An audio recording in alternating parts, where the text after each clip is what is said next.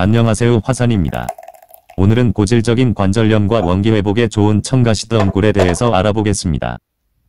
청가시드 엉꿀과 가장 비슷한 식물로는 청미래 덩꿀이 있고 이 두 식물을 구분하는 방법은 청미래는 줄기가 좀 더 굵고 청가시는 매우 가는 편으로 작고 날카로운 장가시가 촘촘하게 있는 게 특징입니다. 간혹 찔레나무로 오인을 하는 경우도 있지만 청가시 열매는 익으면 검게 익어서 누구나 쉽게 구분할 수가 있어 그리 어렵지 않을 것입니다. 자생지는 시골 낮은 산비탈이나 들에 많이 서식해 있고 뿌리와 줄기를 주 약재로 사용합니다. 하지만 줄기에 붙어 있는 가시는 매우 날카롭고 찔리게 되면 독성을 일으켜 알레르기가 심하게 오르기 때문에 뿌리만 따로 굴치해서 약재로 사용하시는 게 좋습니다. 뿌리는 1년 내내 수시로 채취할 수가 있으며 햇볕에 말려 달여 먹기 좋게 잘게 썰어서 사용하거나 술을 담궈서 드시면 효과는 몇 배 더 크게 작용하게 됩니다. 특히 뿌리에는 인삼의 사포닌 성분이 들어있고 정력을 강화시키는 사포게닌의 일종인 티고게닌 물질이 함유되어 있습니다. 그리고 관절과 뼈 근육을 이완시키는 락소제닌과 식물성 스테로이드 성분 등이 많이 함유되어 있습니다. 이 중에서 청가시에 들어있는 락소제닌은 순수 자연적으로 발생하는 식물성 스테로이드로 근매스 증가를 자극하고 간독성이나 코티솔을 차단해주는 작용을 해주는 것으로 알려져 있습니다. 코티솔은 급성 스트레스 반응에 의해 분비되는 물질로 스트레스에 대항해서 신체에 꼭 필요한 에너지원을 공급해주는 역할을 해주게 됩니다. 또한 근육 합성을 늘리고 체지방은 감소시켜주는 역할을 하고 천연식물자원이라 특별한 부작용이 없는 게 큰 장점입니다. 그래서 노후로 인해서 점점 쇠퇴해져만 가는 퇴행성 관절염의 묘약이 될 수가 있고 신경통과 요통, 무릎 관절염을 개선시킬 수가 있습니다. 나이가 들어 생기는 관절염은 본래 모습으로 돌아가기 점점 어려움이 있으므로 더 심하게 악화되기 전에 청가시 덩굴을 비롯 적절한 약초를 사용하는 게 무엇보다 필요하겠습니다. 술을 담궈서 사용하면 거동이 불편하고 걸음을 걷지 못하던 사람을 걸어 다닐 수 있을 만큼 강력한 효과를 볼 수가 있으며 사위질방처럼 명현 반응도 빠르게 작용됩니다. 그리고 중풍과 뇌경색, 간염 황달, 치매 편두통에 고루 적용되며 현대인들의 스트레스를 해소시켜주는 약재로도 쓰이기도 합니다. 성미는 달면서 쓰고 따뜻하거나 평이한 성질이 있으며 청미래던 꿀과 비슷한 효능을 가진 식물이기도 합니다. 그리고 지금까지 특별히 밝혀진 독성 물질은 없으며 작용 부위는 간과 폐 신장에 들어갑니다. 특히 온몸이 뻐근하고 근육을 풀어줄 때 보충제 역할을 해주기도 하며 근육을 많이 쓰는 머슬과 보디빌더 등의 강인한 운동을 하는 사람과 몸이 아주 허약한 사람들이 먹으면 근력을 한층 더 강화시킬 수가 있습니다. 한방에서는 뿌리와 줄기를 점어 수라하여 진통과 거풍 소종 등의 약재로 널리 쓰이고 열을 내리고 없애 독을 빨리 풀어주며 간경화와 지방간 간염 등에 적용합니다. 그래서 혈액순환을 맑게 해서 혈관에 뭉쳐있는 어혈을 풀 때 사용을 하고 혈액순환을 촉진시켜줍니다. 또한 열이 성하고 힘줄이 서로 당기면서 오그라드는 병증에 효과가 좋으며 풍과 습기로 인해 발생하는 통증 등의 처방약으로 사용합니다.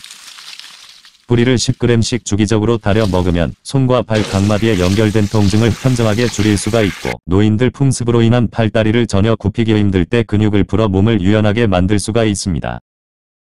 게다가 수은이나 카드문 납 같은 중금속에 오염이 되었을 때 온갖 독을 풀어주는 탁월한 효과가 있으며 특히 인뇨작용이 좋아 수은을 소변으로 빠르게 배설할 수가 있습니다.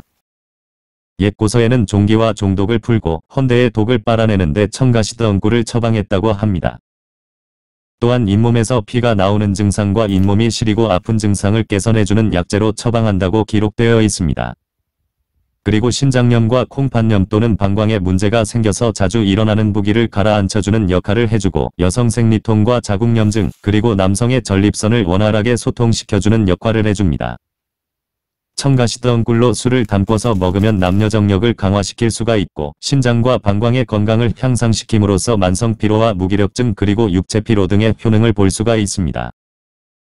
또한 스테로이드와 사포닌 함량이 많다 보니 근력과 근육의 힘을 강하게 만들고 특히 이 성분은 호르몬을 자극해서 발기부족을 치료하는 성분들이기도 합니다.